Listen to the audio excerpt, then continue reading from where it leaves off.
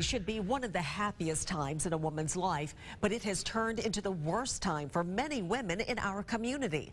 More women are incarcerated than ever before. Many of them are pregnant. 3 to 4% of them are expectant mothers. News 5 wanted to talk to pregnant women inside Metro Jail. As News 5's Devin Walsh tells us, there isn't a maternity ward, and these women are treated like any other inmate. No lullabies. No cribs. Just a cold jail cell. Pregnant inmates like Amber Hardin go into the rowdy general jail population. I'm really upset, honestly, because um, this isn't a very good experience for my first child. She's five and a half months pregnant and says expectant moms shouldn't be here. I don't think they should be in jail, personally, because they don't get the proper care, exercise. This is my little girl, my first little girl. April Esfeller is pregnant with her fourth child, but she's in the barracks. She's blowing bubbles. An upgrade for good behavior. She's been in jail before. I found out today I was pregnant, same day I failed a drug test. Because she tested positive for drugs, she says a judge is keeping her here to keep her from taking more drugs and endangering her baby. If you do something wrong, you're supposed to go to jail and do, you know what I mean? Being pregnant or not. Warden Trey Oliver I just can't imagine uh, being pregnant and being back there. says there are usually about a dozen pregnant inmates at any time.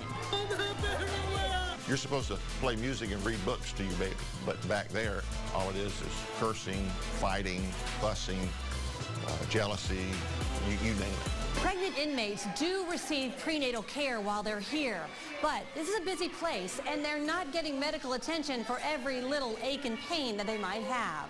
According to a study from the National Women's Law Center, Alabama and Mississippi received an F for the amount of prenatal care women in jail receive. The state of Florida got a C. Open the door. Corrections Officer Veronica Wilcox says pregnant women are treated just like everyone else. Bringing a child in the world and what are they going to tell that child once the child is born that they was incarcerated when they was carrying it News 5 just learned Amber Harden was released from jail before her baby was born. Oh, this will be it. This will definitely be it. Definitely. I, I will not be back because I will be a good example for my child. April Esfeller will have her little girl, then return to jail. I want to be able to go home with my baby.